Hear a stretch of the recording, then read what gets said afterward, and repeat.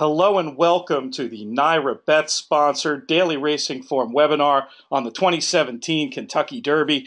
I'm your host, Peter Thomas Fornatale, back with you. Very excited uh, that NYRA Bets is sponsoring this evening and very excited to bring in two very special guests who I've had the pleasure of working with a handful of times over the years. And I'm sure we're going to get some great insights from them over the course of the next hour. We'll start off by introducing the panel. Our first guest is the best selling handicapping author of all time.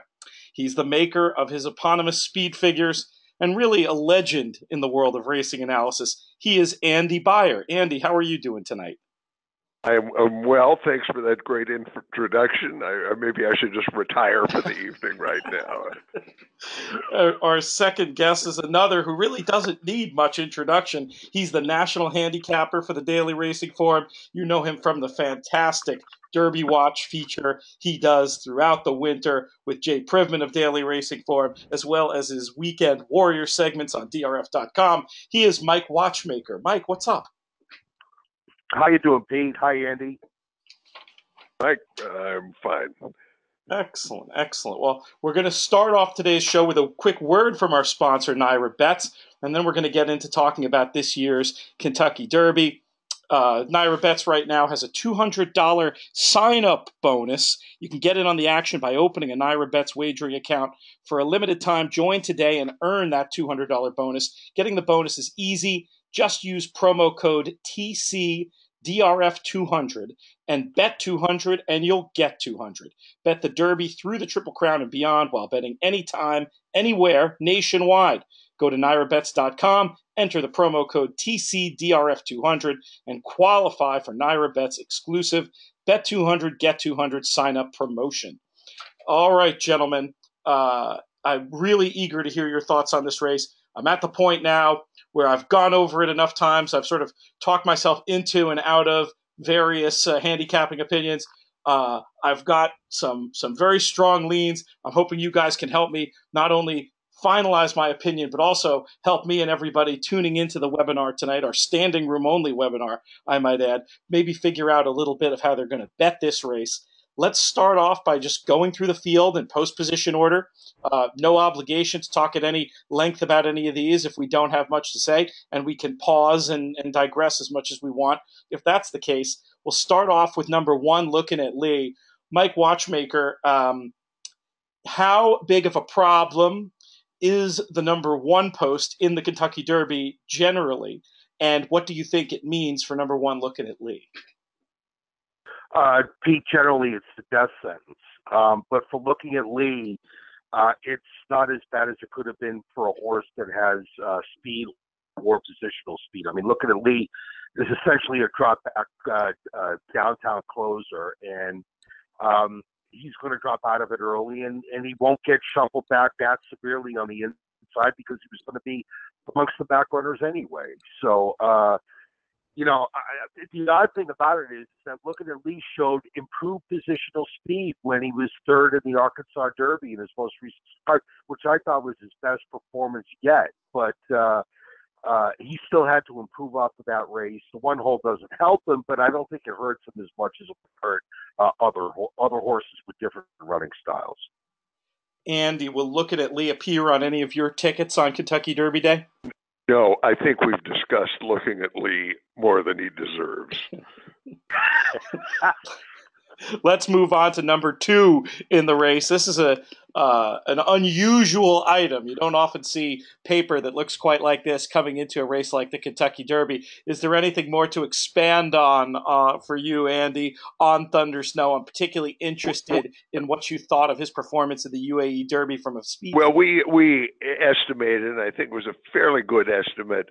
Uh, his UAE uh, Derby figure is a 94 uh, which makes him, you know, uh, like a 25 to one shot in the in this race. Personally, I'm I'm going to have to see one horse out of the UAE Derby, you know, run well in the Kentucky Derby, uh, you know, before I would, uh, would before I would consider one. Certainly seems like a reasonable opinion. Watch. What about you? What are you thinking about Thunder Snow coming into this? Well, I, I do understand the the appeal of looking for a new face in this particular Kentucky Derby, but I don't think Thunder Snow's the right new face. Um, and I completely agree with Andy. Uh, you know, I want to see some horse come over here from uh, out of the UAE Derby and be competitive. We haven't seen one be competitive yet.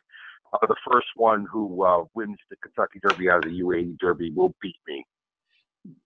Very logical. Number three is fast and accurate. Horse is going to be a deserving long shot. Mike, we'll keep it with you. Any chance he ends up anywhere for you? No, uh, he's a great candidate to run last. Uh, I, you know, I look. I give the, the connections credit for coughing up two hundred thousand dollars to supplement him to this race, but I don't know if they deserve credit or or should be examined by some mental health experts. but I mean, it, it's it's it's a situation where this horse is just totally overmatched. Anything to add to that, Andy? Uh, nothing at all. I mean, he doesn't really belong in the race. How about Untrapped for you, Andy? This is a horse uh, Steve Asmussen has had so much success in so many facets of his training career. Hasn't uh, gotten uh, uh gotten it going in the Kentucky Derby to this point. I think the number's something like over 13. Any shot Untrapped gets uh, Steve Asmussen off the mark. I, you know, this horse is not on my radar screen. His figures have all been weak. I, uh, I, you know, I couldn't consider him. Mike, anything to anything to add? Any positive view? Well, he, he's just seriously distance challenged. Uh, you know, uh, a mile and eight was way beyond his scope last time, even despite a wide trip in the Arkansas Derby. A mile and a sixteenth was beyond his scope in the Rebel. I mean, he had every chance to win that race, and he couldn't stay a mile and a sixteenth. So how is he going to possibly stay a mile and a quarter? Yeah, not not one that I'm really looking at even at the bottom of supers based on that uh, losing ground in the lane, going shorter, um, and now of course stretching out to the ten furlongs. Number five, always dreaming, is an interesting item. There's been a lot of chatter about him this week. A lot's been talked about him in terms of speed figures and the low figure two back. But then of course he stamps himself as a serious horse with that run in the Florida Derby. Mike, are you buying into always dreaming? Well, always dreaming could win this race. Uh, you know, he might be a very nice horse. He is three for three going two turns. But that said, all three of his victories going two turns were achieved with the benefit of being close to very slow early paces. And yes, I believe the pace in the Florida Derby was slow. It completely held together. And I do think that even though there isn't a tremendous amount of breakaway speed in this Kentucky Derby, paces in the Kentucky Derby are rarely uh, uh, uh, moderate or slow. They're usually quite strong, and I think Always Dream he's going to have to work a lot harder early than he has any other uh, any other of his route races. He might be a very nice horse. I, I wouldn't fall off my chair if he won, uh, but I'm not picking him on top or second or third for that matter. Andy, is this a horse who's captured uh, your imagination at all as a possible Derby winner at this point with the big figure last time? No, I'm. I'm. I, this is a horse I'm. I'm against. Uh, uh, you know, first in in a race this wide open, I don't want the the, the favorite or second choice unless they've got great credentials. But the, the the things I have against always dreaming. Number one, yeah, his Florida Derby, the five length win, figure at 97, you know, looks good. But you would have to say, of all the horses who won major prep races uh, for the Derby, he had the softest trip. I mean, he was sitting second behind his own stablemate, uh, sitting in the two path. The leader fades, he goes by uh, in, in, a race where, uh, as Mike pointed out, the you know the speed held on well. Uh, so I'm not that impressed there, and you know. By, by by this point in the history of the Derby, I think we we have to, you know, uh, you know, mark a horse with a, a bit of a demerit. You know, when Todd Pletcher is is the trainer, uh, you know, I mean, uh, any other context, you you automatically, uh, uh, you know, upgrade a Pletcher horse. But he's one for 45 in the Derby. His lone win was Super Saver. Came in a year when he had five of the 20 starters, and he had a horse who happened to get a perfect trip. I mean, most of his Derby entrants have not only lost but run dismally. I, I mean, we we we've seen you know the the phenomenon in many other contexts where where Pletcher horses really give their best efforts in Florida and don't reproduce them elsewhere. I, I just think this horse has a lot of strikes against him. And plus, you know, some of the clocker comments from Mike Welsch uh, in the Racing Form that I always pay attention to are kind of negative that this horse is not relaxing. He's not kind of settling in in his works like as you would want for a mile and a quarter race. That sums up uh, the case against Always Dreaming pretty well. Let's move on to number six, State of Honor, a candidate to be in front at the half mile into the race. Uh, is he a candidate to do anything more than that, Andy? You know, I, I don't think so. I, I, I mean, he, uh, he he just looks distance challenged. I mean, he was loose on the lead twice at Tampa Bay, and you know gave it up uh, against horses who were in this field. Uh, I, I I don't see him. Mike, anything to add on State of Honor? No, I, I mean I, I've I've uh, stated this uh, to the point of uh, ad nauseum uh, in, in a Derby box uh, context for a while now. I mean, this horse has now had six career starts going two turns, and he's lost ground in the final furlong in all six of those starts. Uh, if that isn't a sign of a horse who has problems going a distance, nothing is. And the fact that he held on for second in the Florida Derby, I think, was really the proof that the pace was extremely soft um, and uh, it, it, it, reflects negatively on the aforementioned Always Dreaming. Number seven, Girvin has been the subject of some uh, tremendous reporting by our colleague Jay Privman this week. Uh, the business with the shoes, staying in the stall, uh, not making the track until today when Mike Welsch based on his comments on Twitter, seemed a little bit less than impressed with him. I'm at the point where I'm just willing to let this one beat me out of all four slots. Am I being over dramatic in that assessment, Mike? No, I think you're absolutely correct, Pete. I mean, you know, even if you put aside uh, the whole drama with his foot issues, and you shouldn't because it's important. Uh, but even if you put all of that aside, I mean, his his paper just isn't good enough to win this race. Um, you know, a lot of people were willing to to to to to accept him as a horse on the come after he won the Risen Star. Um, beat a, a soft field. He beat Untrapped, who, you know, I've already labeled as completely being completely distance challenged. Um, but he beat Untrapped in that race. He earned a 93 Beyer figure at that day, and a lot of people were willing to label him a horse on the come. So even if you bought into that, you had to be disappointed with this Louisiana Derby. I mean, he took a step back Beyer figure wise. Uh, it, it just was not a pretty race. He beat a horse and Thatcher was coming off a maiden victory.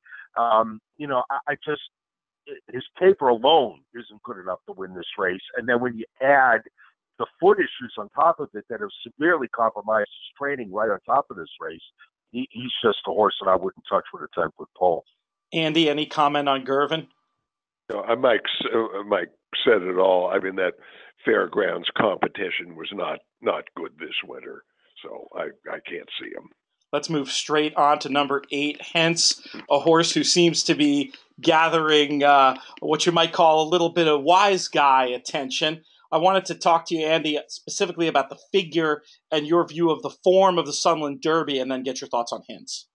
Yeah, we we initially made the figure for the Sunland Derby in '93, and it was uh, the the day was a little ambiguous. But when uh, you know some horses started r- running out of the Sunland Derby and really running well, we thought that race could be higher, and we re- reviewed the whole last part of the card, and it looked like the track had in fact slowed down, and we you know it wasn't just the Sunland Derby, but you know some other races uh, that we had underrated. So we we raised the the latter part of the card by four points, and that certainly puts Hence uh, in there. Even if it didn't, I, would say this about uh, uh, regardless of his figure when, when I think of the Derby and the kinds of horses who win it, I always think of horses who make the big, powerful, wide, swooping move on the turn. I mean, you could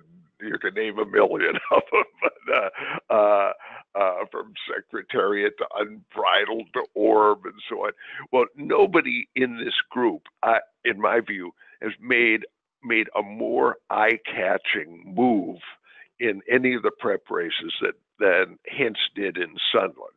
Now, I would say, you know, the the you know the big wide move was perhaps abetted by the track because I thought that was a, a significant dead rail at Sunland that day. Nevertheless, I mean this horse uh, ran well. He can really finish, um, and uh, uh, you know the, his his figure is is certainly competitive. I mean he would be in my top three. Mike, do you share the enthusiasm for Hence? No, um, and, and, and I will say this: um, even after Andy bumped the figure up four points to a 97, and accounting for that, the second, third, fourth, and fifth place finishers all came back and ran very well, and they all improved on their on their Sunland Derby fig, their adjusted, bumped up Sunland Derby fig in their next starts, which under normal circumstances for me would be you know, uh, like you know, a fly to fly paper kind of thing. I'd be very attracted to a horse like that, but I just can't get around the fact that the, the, pace of the Sunland Derby was nuclear. I mean, it was ridiculously fast. It was just a golden setup for this horse, and you know, I just don't, and I don't think he's going to get as lucky two races in a row. I mean, he's just not going to be able to loop horses in the Kentucky Derby like he looped horses in the Sunland Derby uh, with that kind of nuclear pace that he got at Sunland Park. I just don't think it's going to happen for him two races in a row. All right. Listen, it is not it is not unprecedented to see horse uh, unlikely horses get good just you know like in their last re- prep race for the Kentucky Derby and I know this horse was kind of a non-entity you know, before that race, but I pretty much believe the race. I mean, uh, uh, uh, you know, I've been kicking myself for a decade when War Emblem won the Illinois Derby, saying, "Oh well, he got a huge figure in the Illinois Derby," you know, but you know, he's we know he's a bum. Uh, no, I mean I, that's the, uh, you know, I, uh, I, you know, I, you know, I'm not arguing that this horse should necessarily win, but I think he's and I think he's a legitimate contender in this field. He definitely scares me a little bit too. I share some of Mike's reservations, thinking of him uh, on my tickets as more of a backup for the moment with all that in mind. Number nine, Irap broke his maiden in the bluegrass. I have to say, to my eye at least, not the most visually compelling Kentucky Derby prep race I've ever seen. Andy, where do you stand with Irap? You know, I I can't like him, but let's say if you know, I mean, this, you know, this is a, a race with so many, with such a overall a weak field. I, I think that this, this Derby, you know, could wind up being run uh, one with a figure of a hundred, and so it really doesn't take that much of a leap for a lot of these horses, you know, to you know to improve a little bit and be capable of winning. I don't like Irap but I wouldn't fall off my chair if, if you know if he pulled a you know a thirty to one upset. Mike, am I being too negative about his performance in the bluegrass? Should I lighten up a little bit on Irap? No, and I would fall off my chair if he won this derby. I mean, you know, I, I just I, I thought the bluegrass was a, a race that, um, on paper, uh, at the time, the bluegrass was absolutely the strongest derby prep um, uh, that we had seen this year. And it was the complete 180 when they actually ran the race. It was a slow paced race. A bunch of horses never moved the muscle. The runner up practical joke, to, to my way of thinking, underscored his distance limitations by having every chance to catch a maiden in Irap the length of the stretch and being unable to do it. Um, it I, to me, it was just not a strongly run race for a race that, especially concerning, was a race that you thought would be the best Derby prep of of, of the year. And uh, you know, he he got away with a very comfortable uh, trip right on a very slow pace. And uh, you know, I just don't think he's going to get that kind of trip again this time. I mean, unless he's all of a sudden improved ten lengths, which I guess is not implausible, but I don't expect it. Uh, you know, Irap is nowhere for me. I can intellectually understand the case on the number 10 Gunnevera, but for some reason I'm not really I haven't been feeling it in my heart. Uh, maybe you Mike can can convince me that I'm also being too harsh about this runner who was theoretically compromised 15 lengths off that slow pace you described in Florida. Yeah, I I, I wound up picking Gunnevera second in in this race, uh, and I think he's got a, a puncher's chance to win. Uh, I, I thought his race uh, in the Holy Bull. I wasn't a big Gunnevera fan once once you know, the calendar flipped to 2017. I thought his Delta John down, Downs jackpot victory was kind of dressed up, um, and I you know, but I I was impressed with the way he ran in the Holy Bull. Irish War Cry who I'll scoop myself right now is the horse I picked in this Derby, um, completely controlled the pace in the Holy Bull. But I thought Gunnevera ran very, very well to be second that day. Uh, he was closer to the pace than he's comfortable being. He checked on the rail in the far turn and still was a very willing second. I loved him in the Font of Youth. It might have been the last winner I picked um, but I loved him that day because I thought the pace setup was was much more favorable for him, uh, and he and he and he delivered. I mean, he he won big time, and you know, I just thought the ride he was given in the Florida Derby last time was was absurd. I mean, I know that this horse is is best when he's allowed to drop back and make one big run, but I mean, he was completely taken out of the race. I mean, he was so far back behind a pace that was really very slow, and he had really no chance with the way that with the way that race set up. Now, you could say it was disappointing that he didn't catch State of Honor for second money in that race, and I would buy that. But uh, you know, I'm gonna I'm gonna counter that by saying it was a prep. He had a bad setup. He's run better be better than that before. Um, and I just think he's a horse who's going to punch his shot, chance at a decent price to impact this Kentucky Derby. Andy, what are your thoughts on Gunnevera? I think it's more more than a puncher's chance. I mean, I agree with Mike completely about that last race in the Florida Derby. I can't fault it fault it as an absurd uh, ride. You know, if you looked at that race on paper, uh, you know, it looked like there was a fair amount of speed in there. The horses in the, you know, the difficult ten post. Uh, uh, going a mile and an eighth at Gulfstream. Castellano, you're like just took him back, angled to the rail, but in in the process of doing so, he you know he was just you know in you know in a different county from the rest of the horses, and uh, you know as, as Mike has said, you know the speed really held up uh, well. I mean, the horses who were running one, two, three, four early wound up finishing fifth, second, first, and fourth, and the only closer who uh, you know who got into the frame, uh, you know, was uh, Gunnevera. So. Uh, uh, you know, I, I think this horse is a is a definite contender. I definitely get the case. All right, we're halfway through the main body of the field. Take a little break for another word from our sponsor. I want to tell you about the 10% Oaks and Derby Exacta winners bonus. You can bet exactas in the Kentucky Oaks and Kentucky Derby on NYRA bets, and when you win, you'll receive a 10% winners bonus. How does it work? Let's say your winning Derby Exacta pays 200 bucks. Well, NYRA bets will add 20 bucks on top of that. Wagers need to be made via mobile device to qualify. This promotion is available exclusively to NYRA Bets customers only. Visit NYRABets.com to sign up today. The 11th horse in the field is Battle of Midway, coming out of the Santa Anita Derby, a race I was not overly impressed by. But if it was just an average race, I probably would be a little more interested in a horse like Battle of Midway, cutting out fast fractions and hanging around at the end. Andy, where are you with him?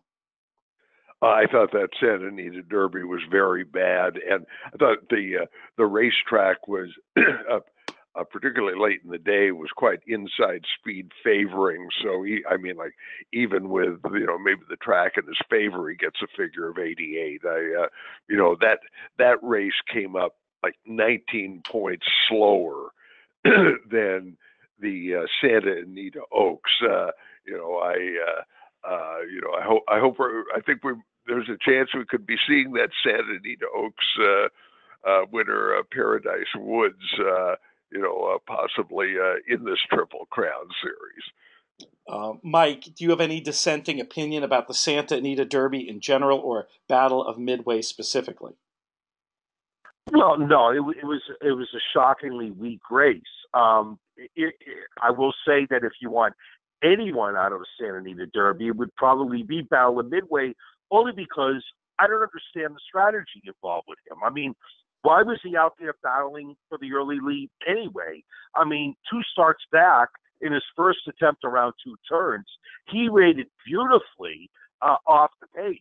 I mean, he settled nicely. I mean, he, he was he, he he responded when he was asked uh, on the fourth turn, and I just don't get the trip that he was given in, in that race. And um, you know, uh, if Andy's right about the track being speed favoring, well, that's something that I didn't consider. But I will say this: I understand the strategy involved with I thought he ran the best race, buddy, out of what was and I do agree on this point, an, an extraordinarily weak Santa Anita Derby.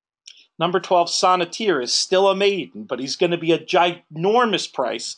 And he does, according to various late pace figure calculations, have among the best closing kick in the field. Am I nuts, Mike, to think he could maybe sneak in there for third or fourth if everything breaks his way? Well, if Commanding Curve can get a piece of the Kentucky Derby, anybody can. So uh, I wouldn't I wouldn't talk you off Sonneteer uh, if you want to include him underneath in your your tries and your supers. I mean, uh, he's going to be much too big a price uh, for me, and, and there's no percentage of me like knocking this horse. All, all I'm going to say is he's a bait, and and you know the fact that he finished fourth, beating two lengths in the Arkansas Derby, the Classic Empire, I think is an indication of something that we'll probably discuss in a few horses down the road. Um, but uh, I, I'll hint at it. I, you know, the Arkansas Derby was not a strong race, uh, and um, you know, and I'll just leave it at that. Andy, your thoughts on Sonneteer? You know, I have no thoughts on Sonneteer. Uh, you know, in fact, I, I, I, I until uh, until we just came to him in this broadcast, I had forgotten his existence, and I don't think I'll be reminded of it Saturday, so we can move on. He did sneak into the field very late. I could see how that might happen. Number thirteen, J Boys Echo has that big Beyer speed figure two back. Andy, is that enough to keep him on your radar despite the flop in the bluegrass? I certainly paid attention. I mean, uh, he did have a, a, a good setup in that race. I mean, there was a, you know, I mean, a you know, a, fast speed duel. I mean, he beat a he beat a pretty good field, but I mean, the the, you know, there there was there was kind of no excuse in the in the bluegrass, and you just have to think that the aberration in his PPs was that big win in the Gotham and not anything else. I mean, I. Uh, look, look, if he wins, I'll be boasting he had the best Beyer speed figure, but uh, uh, but uh, uh, I, I don't see him. Watch your your feelings on J Boys. Well, I, I do see him, and I and I and I picked him third in this race, and um, uh, he's a horse that I, I sort of had a, a love hate relationship with. I, I I picked him in the Weekend Warrior in the Delta Downs Jackpot. He had a trip and a half in that race. I don't understand what the jock was doing with him that day. Um, so I came back and I picked up the Withers, and his Withers was a dreadful performance. I mean, even if you allow for the fact he was coming from a November to February layoff, it was an awful performance because the runner-up in that race, Two Timber, went to his knees at the start of that race and then was rushed out of his skin uh, along the rails to avoid getting shut off so that he could be, he wouldn't get shut off. And Boys Echo couldn't catch him for second that day. And I was just, I was so disappointed. It wasn't, it was ridiculous. And when he came back and he won the Gotham, I was spitting blood. I was at Gulfstream. That was that was Fountain Youth Day, and I was spitting blood. I mean, that he would run that well when I finally got off of him. And and of course, I went back to him in in the bluegrass, and he ran a, a, a well-beaten fourth. Look, he he was completely pace compromised in the bluegrass as much as he was pace set up when he won the Gotham. But I thought his Gotham was a legitimately good performance, and if you know, there are a lot of people out there that think McCraken has an excellent chance to win this Kentucky Derby. Well, if you like McCraken, you know, why can't you use Jay Echo, who's going to be two or three times the price of McCraken, and who had the same excuse that cracking had, or a similar one anyway, in the bluegrass. I mean, he was pace compromised, and I think he's probably going to get a better pace setup this time around. I think he's a long shot with a chance of this race. Mike, I think you already tipped your hand a little bit talking about our morning line favorite, number 14, Classic Empire. But I would love to hear your, your full thoughts on this horse. Do you rank him as a contender who you don't think will be value, or are you more against him than that, even? Well, I, I, I'm a Classic Empire fan. I, I thought his I thought his Breeders' Cup juvenile win was uh, a, a very fine effort. I thought it was. I thought that was an especially strong, strongly run Breeders' Cup juvenile, and I think this horse has a world of talent, and he and he might very well be. Uh, Mastery aside, Mastery, of course, the horse that won the San Felipe, and then suffered a condylar fracture, fracture and was pulled up literally seconds after that brilliant victory. Him aside, Classic Empire's probably got more talent than anybody else. But uh, his his year has been a complete mess. Uh, he he did not run a step in the Holy Bull. He uh, he came out of the race. He had a foot abscess, so that was blamed on his uh, his complete no show in the Holy Bull. Um, that mucked up his training for a good period of time. And then when he finally got over that, he didn't want to train uh, for a while. I mean, he just refused to train. And then they they whisked him off into Central Florida uh, under the eyes of nobody, and all of a sudden he started turning in the greatest works a horse ever turned in, and he was back on the beam, and and then he came and he won the Arkansas Derby. Now, to his credit, Uh, the Arkansas Derby was his first real race when he threw out the Holy Bull in five months. So for him to win that race, it shows this horse has a lot of substance and a lot of talent. But when you look at the race as just a race, I thought it was a weekly run race uh, a maiden finished fourth, beaten two lengths in it. You could make an argument that the runner-up Conquest Mo Money, ran by far the best race in the in the Arkansas Derby because he was on the pace every step of the way and ran hard every single step of the way. And in a Kentucky Derby context, you could also say, look, Classic Empires had only one real race in five months. Is that enough foundation for this horse, no matter how talented he might be, to win a mile and a quarter, the mile and a quarter Kentucky Derby. I don't think it is. I didn't pick him one, two, three, four.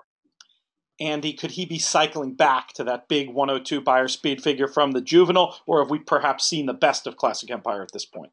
Well, I don't. I, I would. Uh, you know, uh, I, I thought that uh, his juvenile was very good. I think it was the best race run by any member of this Derby field.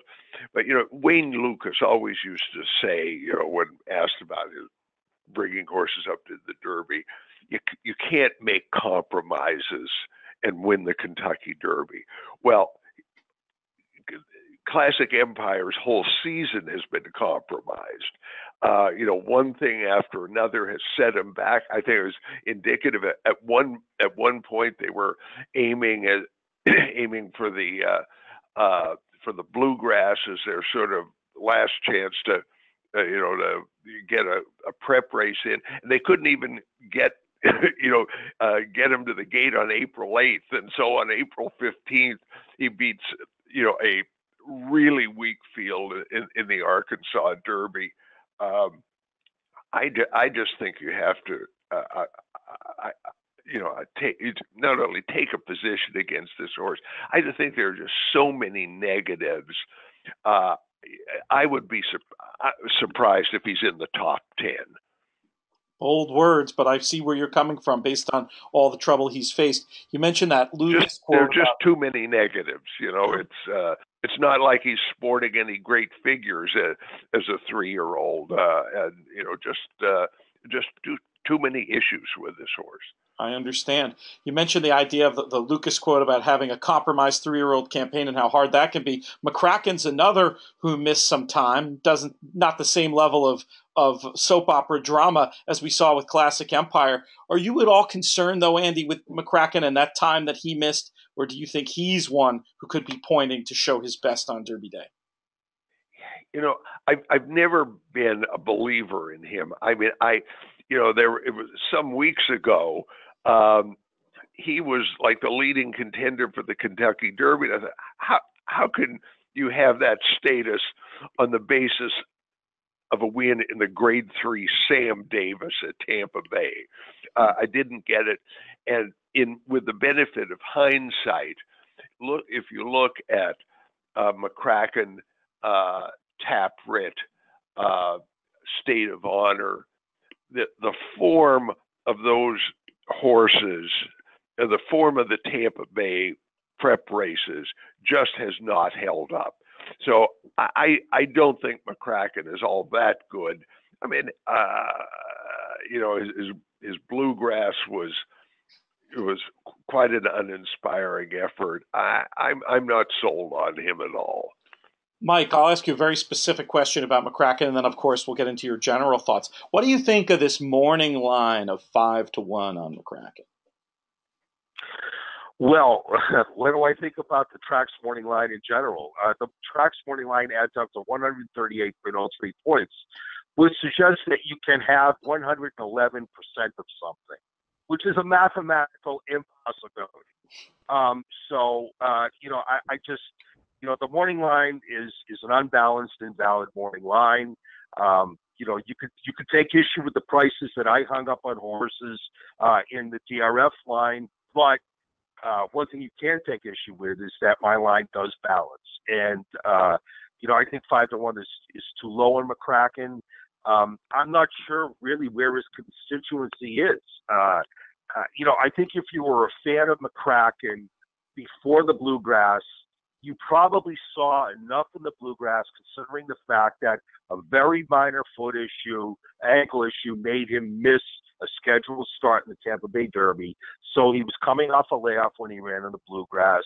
And he's got a trainer in Ian Wilkes who has something of a reputation of being able to uh, masterfully uh, bring horses up to performances for their uh, long-term goals. And you know, if if if you were a fan of McCraken before the Bluegrass, you probably still are.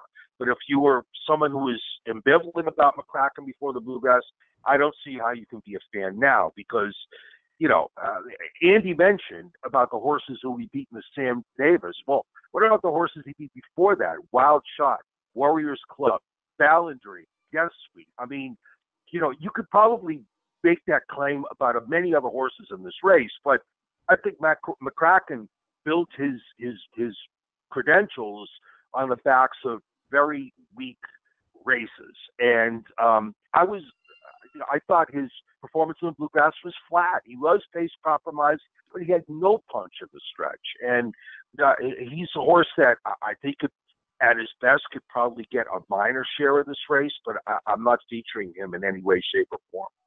I I understand. I'm attracted to him. I enjoyed watching him work out this week. I like the narrative about Wilkes leaving something in the tank improving for the Derby, but the five to one gives me a little bit of pause. We'll have to see what happens in the actual betting markets. I think it'll be higher, Pete. Okay, so that's. I think it'll be higher. That that that, that would that would uh, definitely lead to him being included in in m- many more things for me. Another horse who impressed some people just in his appearance on the track this week is number sixteen Tapwrit. Seems like we've had this conversation about several in this field about the no show in the bluegrass. Add Tapwrit's name to that list. Did you see any excuse for him, Mike? And uh, do you see him appearing on your tickets at all? Well, like several other horses in the bluegrass, he was pace compromised, but unlike you know, unlike McCraken and J Boys Echo, who at least, you know, lifted their hoofs a couple of times during running of the bluegrass, Tapwrit never moved a muscle. I mean, he was dismal in that race. And um, you know, it's one of the reasons why Andy says the Tampa Tampa Bay form hasn't held up. I mean, he won the Tampa Bay Derby in McCraken's absence, but he beat State of Honor, we've already discussed. The horse was seriously distance challenged. And third in that race was Wild Shot, another horse who's distance challenged and is properly cutting back to a mile in the Pat Day stakes on the undercard uh, on Derby Day. And then, you know, uh, uh, before that, I thought McCraken ate him for lunch when he was second in the Sam Davis, and and before that he was slow. I mean, you know, I uh, Tapwrit is a horse that I've taken a position against all year long, and I see no reason to alter my view. No reason to get on the bandwagon now, I suppose. Andy, your thoughts on Tapwrit? Yeah, well, I always pay attention when Mike Welsch says a horse is training well, and he's evidently been training well. But again, I can't, I can't get around, uh, you know, my feelings about the uh, uh, the Tampa Bay Forum, and and here we've got another Pletcher horse who runs great in Florida, and uh, you know, and now is on, you know, is you know, is, you know, is on the downgrade. So uh, I'm I'm not a Tapwrit fan. Mike already tipped his hand about number 17, Irish War Cry. Andy, I'm imagining you're attracted at the least to those two triple digit Beyer speed figures in uh, in the last three races. But of course, then there's that one in the middle to contend with. Where do you end up on Irish War Cry? I, am I'm, uh, I'm uh, I'm on the bandwagon. I mean, Mike Mike and I'll probably be crushed by underneath it uh, to, together. But I mean, this horse has run two uh, Beyer speed figures of 101.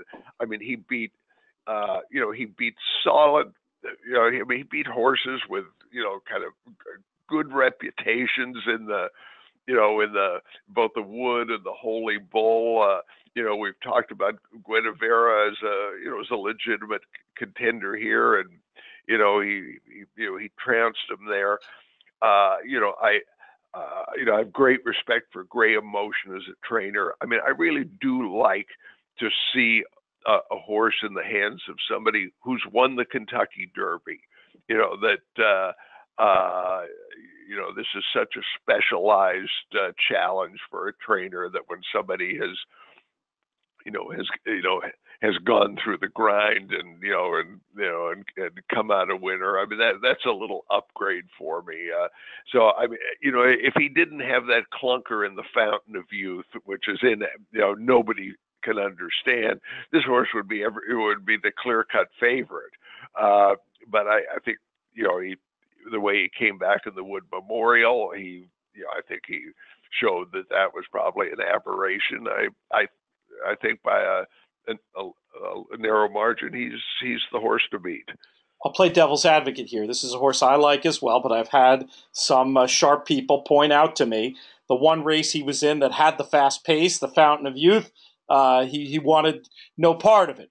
Uh, what I'm thinking is, why does he have to be that close if they go fast? Why can't he be in the top quarter of the field and sort of do his stalk and pounce thing from there? Mike, where do you think? Uh, what kind of trip is this horse going to get? Well, if people are, if some people are telling you that the only fast-paced race he, he was in was the Fountain of Youth, then those people are giving you bad information because I thought the pace of the Wood Memorial was completely solid.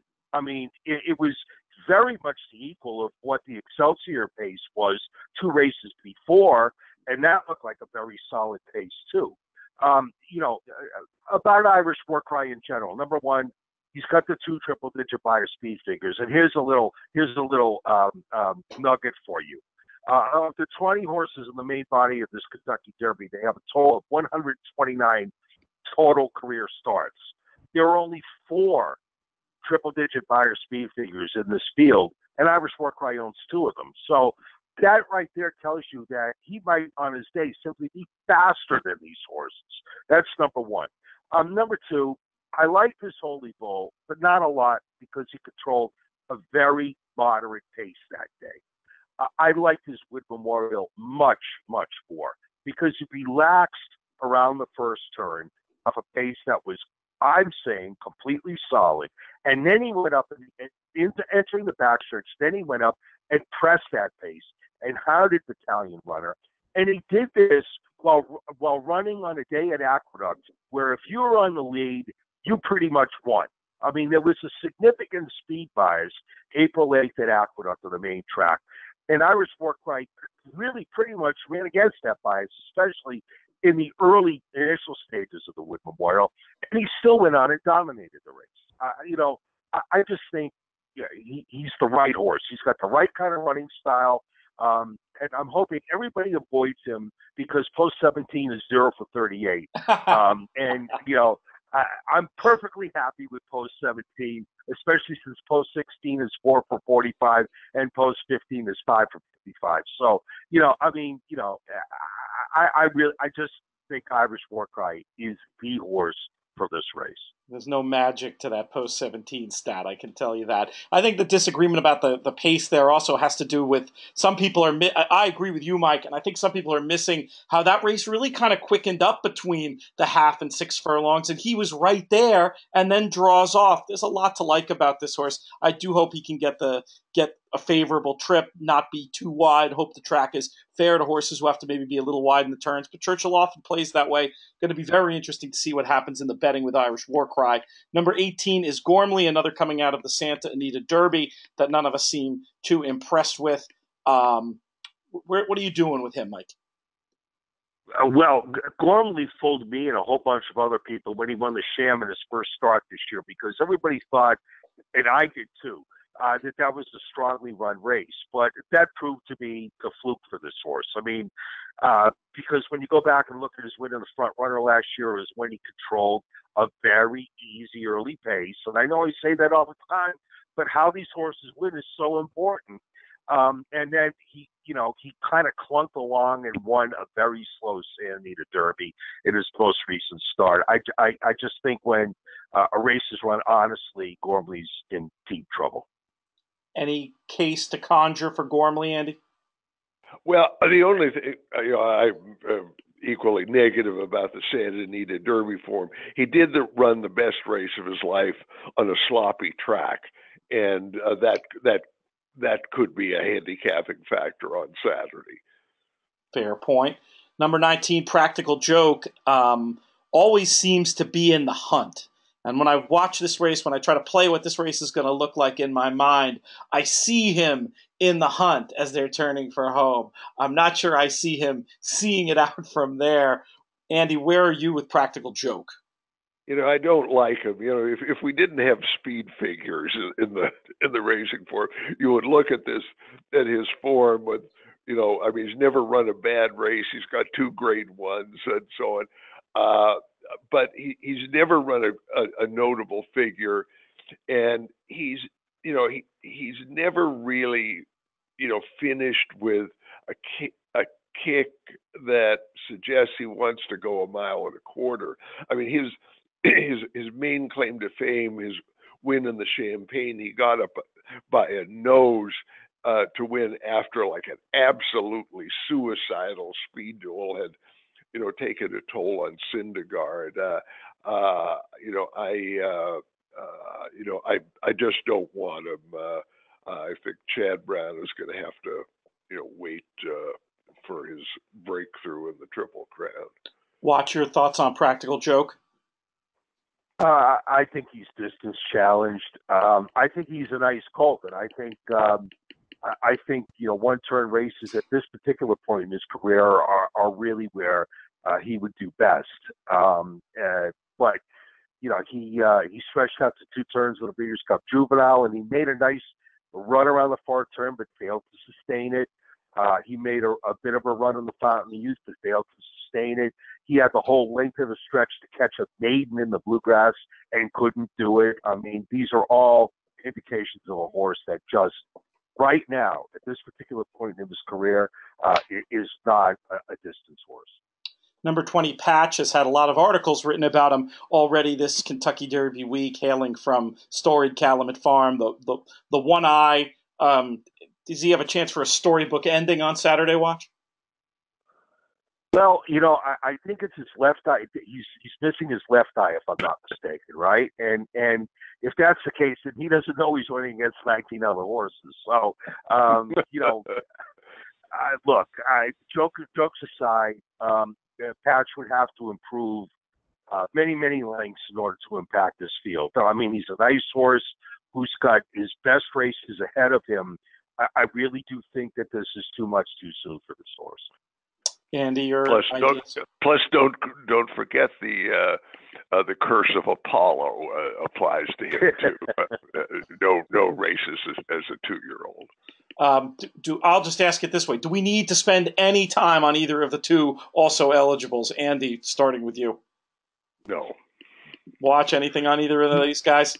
Well, yeah, I think it's important to note that you know we uh, we really hope it doesn't happen. We hope nothing uh, uh, calls uh, the horses in the body of the race. But if Royal Mo draws into this race, uh, it, it very much uh, affects the, the the pace complexion of this race because he's going to be a significant pace presence in this race, and uh, he will uh, somewhat ensure, especially since he'll be breaking from the outside post and will have to send. He will ensure a pace that will be probably more than honest and be downright fast. And I think that that's something that people have to keep in mind.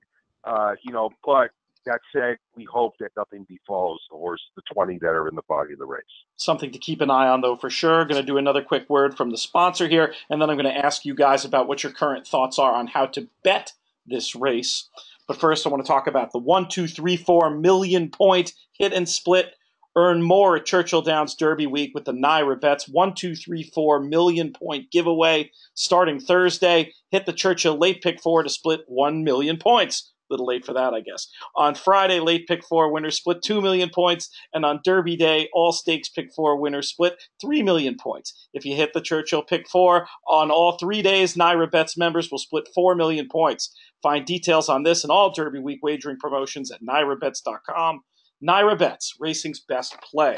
All right, let's get down to, we're talking about betting. Let's get down to how we're thinking of betting this race. Watch, we'll start with you. Are you more interested at this point at this race from a vertical perspective for, for the uninitiated, talking about exactas, trifectas, superfectas, or are you more interested in it from a horizontal perspective, doubles, pick threes, pick fours, etc.? Uh, well, I'm, I'm a I'm a horizontal multi-race exotic player. That's that's really my comfort zone. But uh, this is a race, um, given the opinion that I have in it, that demands vertical wagers because uh, I'm against Classic Empire. Uh, I, I think it's uh, perfectly plausible that that uh, Always Dreaming doesn't hit the board. Um, and I I have a couple of horses underneath Irish War Cry who I really like uh, in Gunnevera and and J Boys Echo, uh, who are price horses who could definitely hit the board and also maybe hit the board with something cuckoo like a commanding curve type of horse. So uh, you know, for for somebody like me who's much more comfortable getting pick fours and pick fives, I'm definitely going to bet at least tries in this race, uh, only because uh, I think you can get something explosive uh, in these vertical wagers in this in this spot.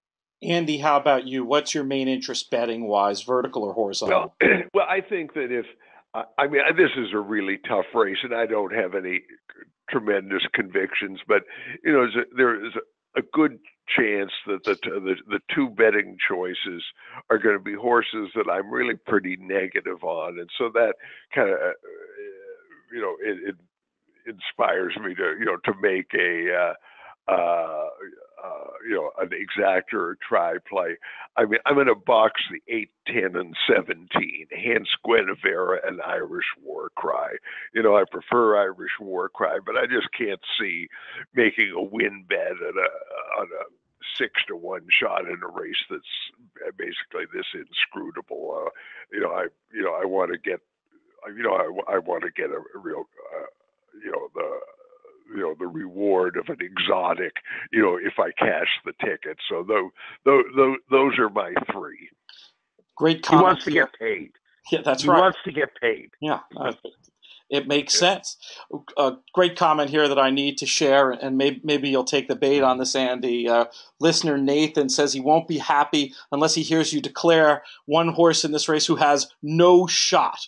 If you had to pick one no shot horse who would it be Oh well, there are there are too many. Uh, uh, uh, well, obviously, you know the fast and accurate. I guess is it would be everybody's first throw out, but uh, you know, just a, as a uh, you know as a uh, you know as a a, a betting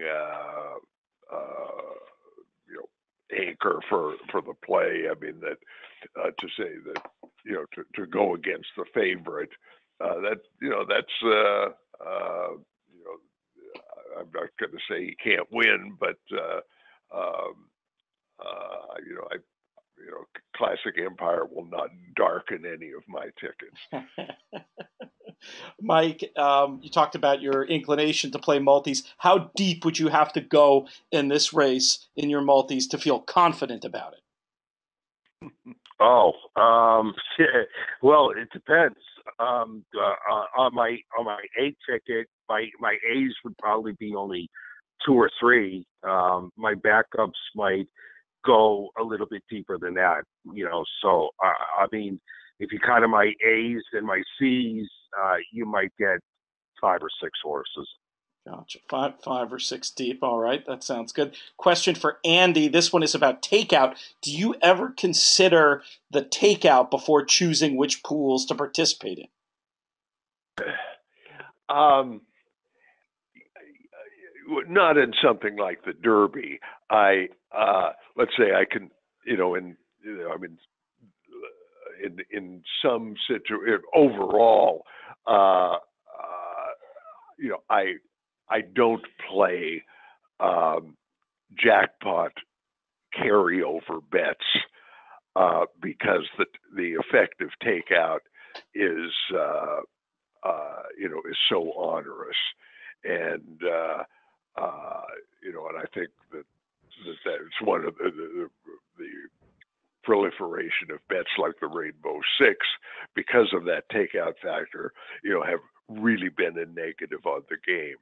I also decided not to spend a lot of time using my speed figures uh, in Argentina, even though they were very good down there, because uh, because because the 29% takeout just did not justify all that work. So I, uh, I you know, I, I, I pay attention to it in right in the right spots, but not to say, well, I, one bet is 17%, one is a 19% in the Derby. I mean, no.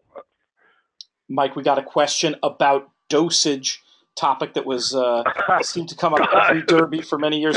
Is it is it something? This has to be this has to be a listener over the age of seventy. I think. Uh, I, I, I, I, cannot believe that a wooden stake has been driven through the heart of Joseph by this point. I really can't believe it. It's fun with numbers. That's it. So not not something anybody should be uh, should be taking a look at. Uh, we got no. Andy touched on this before, uh, but uh, I wouldn't mind your your thought on it. Are you are we at a point? A listener wants to know where being trained by Asmussen or Todd Pletcher needs to be considered a negative in the Kentucky Derby watch. Oh boy, yeah not for me. Uh, I know that Andy uh, intimated that that would be the case for Pletcher. I mean, Pletcher wins too many races, and he's too good of a trainer to think that, you know, he just uh, for some reason can't win the feature race at Churchill Downs on the first Saturday of May. I mean, it's just, you know, I, I'm not saying that he hasn't I'm not saying he's had bad luck. I'm not saying that his his Ford Derby record is all entirely circumstantial. I, I think much of it has to do with the fact that he trains for so many people that that really demand uh, their horses be in the Kentucky Derby as opposed to a trainer that would uh, actually run a horse in the Derby who belongs. So uh, I think that has something to do with it. Uh, no, I'm not at the point uh, where I would consider it uh, an outright negative um, before even considering what the horse is. No. All right, that is. I, I, I, I, would add that Please. I, I don't uh, I don't have, uh, you know, I I don't have any prejudice against Asmussen. I mean, he he he, he winds up in the Derby because he's, you know, he's got you know, a lot of horses and you know, horses who are kind of marginal contenders. Uh, but uh, you know, it's not like Pletcher. I mean, Pletcher has an army of horses every year who are all pointing for the Kentucky Derby, and his, you know, and uh, and you just can't ignore the the fact that so many of them uh, just don't get there and or or just fail badly. We are out of time, gentlemen. I want to thank Andy Beyer. I want to thank Mike Watchmaker. I want to thank our sponsor for the webinars this week, NYRA Bets. Go to their website, nyrabets.com. Hear all about the $200 sign up bonus, the 10% Oaks and Derby exacta winners bonus, and the 1, 2, 3, 4 million point hit and split and get all the information there at nyrabets.com com. Thanks so much for joining us. If you want to catch the replay of the show or the show I was uh, happy to do last night with Jay Privman and Craig Milkowski of Timeform US, you can go to drf.com slash YouTube and check out all the action there. I'm Peter Thomas Fornatale. Hope everybody has a great Oaks and Derby day. You've been watching a handicapping session produced by drf.com.